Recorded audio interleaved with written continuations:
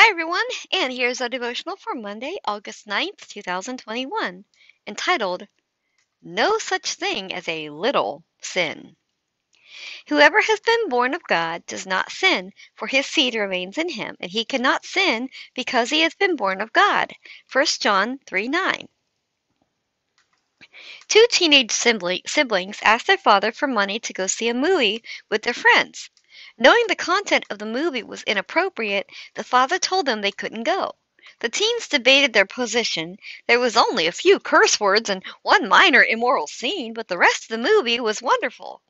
The father still refused. Sulking, they retreated to their rooms until they were called for supper. When it came time for dessert, the mother set a pan of freshly baked brownies on the table. The father cut large squares for his children and said, Your mother has made your favorite dessert. But there is one thing you should know before you eat it. I had her mix in some manure. How could you? they moaned. Oh, it's just a little bit, the father answered. Enjoy. Needless to say, the entire pan of brownies was thrown out. Even a little sin is enough to corrupt. So don't mix it in. How can you have the strength to choose holiness over sin?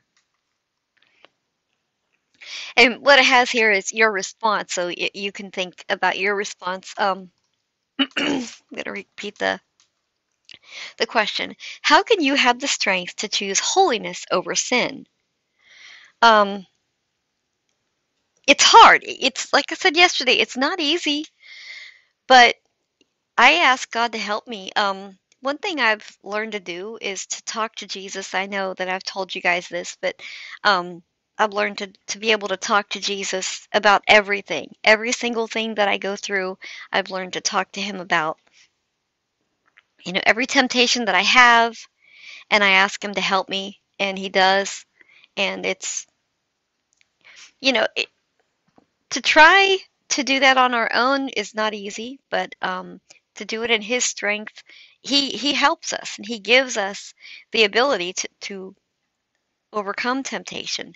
And I'm so thankful for that.